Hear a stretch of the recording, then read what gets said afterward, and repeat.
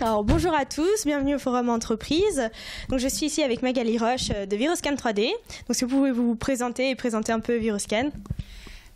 Alors, Viroscan 3D, donc d'abord je me présente moi, euh, Magali Roche, donc je suis euh, directrice scientifique au sein de Viroscan 3D. Et Viroscan 3D, donc est une start-up de l'Université Lyon 1, donc qui a été créée en 2012 en tant que spin-off de la plateforme Profil Expert. Et ce qu'on fait, c'est que on propose de la recherche de biomarqueurs et euh, de la caractérisation et de la découverte de pathogènes à l'aide de technologies à haut débit, comme notamment le séquençage nouvelle génération, technologie Lumina. Donc on va vraiment beaucoup travaillé sur tout ce qui est euh, identification de marqueurs de l'hôte euh, en réponse à une infection par un pathogène ou euh, recherche, caractérisation de pathogènes, de mutants de résistance thérapeutique, voilà ce genre de choses. Très bien. Et alors dites-nous pourquoi vous êtes venu au Forum Entreprise aujourd'hui?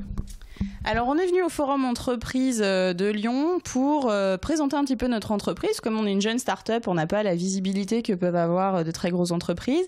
Et pour permettre aux étudiants de nous découvrir, que ce soit pour des stages ou pour présenter nos offres de recrutement et, et ce qu'on peut offrir en termes d'emploi.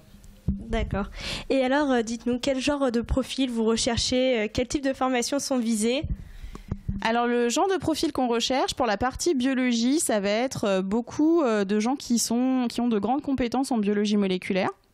Donc on va pouvoir rechercher soit des profils ingénieurs ou techniciens, donc qui seront vraiment à la partie euh, prestation de services euh, de recherche pour nos clients.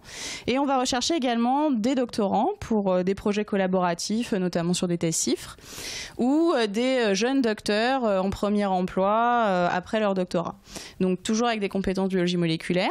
Et sur la partie analyse de données, on va rechercher des profils ingénieurs en bioinformatique et pourquoi pas des profils doctorants également pour mettre en place des collaborations avec des laboratoires laboratoire académique.